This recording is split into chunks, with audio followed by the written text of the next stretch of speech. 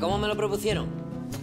Pues estaba yo en Madrid, me sonó el teléfono y era una llamada de Alberto Puyol, mi maestro de teatro de toda la vida. Y, me dijo, Guillermo Mauri, que tengo una obra de teatro para ti en Jerez.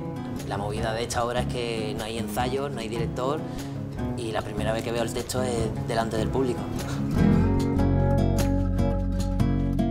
Sinceramente no sé nada.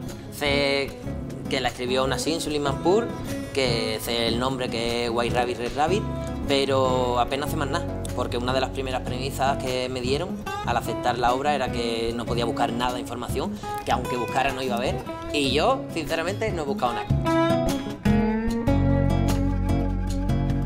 ¿Cómo llega esta obra a Jerez? Pues la trae Paloma Froján, y ella pues se puso en contacto con Alberto porque se conocían, ella había, ella había estado en la escuela de Teatro Estudio Jerez y ella vio esta obra, le flipó y como ella es actriz pero no podía hacerla pues aprovechó y, y la quiso traer para acá, para, su tierra. Pues la verdad que hay pocas maneras para prepararse para esta obra porque es que no tengo ni idea de lo que me voy a encontrar. Yo he intentado pues ensayar con monólogos, ahí en mi cuarto, en mi salón, ¿no? Pues imaginándome ya delante de- de- del teatro, delante de, de todas las butacas y todo el público. Y ha sido lo poco que he podido prepararme, pero vamos, sinceramente es un salto al vacío 100% porque si ya lo es cada, cada proyecto, eche más porque no tengo ni idea de qué voy a hacer dentro de una hora aquí, ¿entiendes? es entregarle el guion, el libreto, ¿vale? La obra de teatro. Y a partir de ahí te dejo solo, Mauri.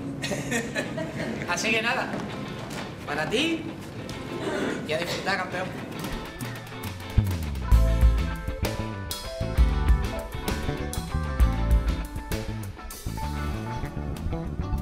No hay ensayo, no hay, no hay nada.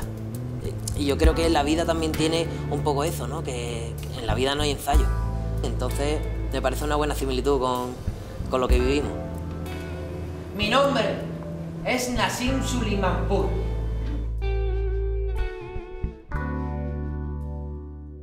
No tengo palabras, tío. No tengo palabras. Acabo de terminar y es una obra increíble. Muy emocionante como escribe Nassim. Me ha encantado, me ha encantado. Muchas gracias a todos por venir y, lo recomiendo, pero vamos, a cada actor y a todos los espectadores del mundo que vean esta obra.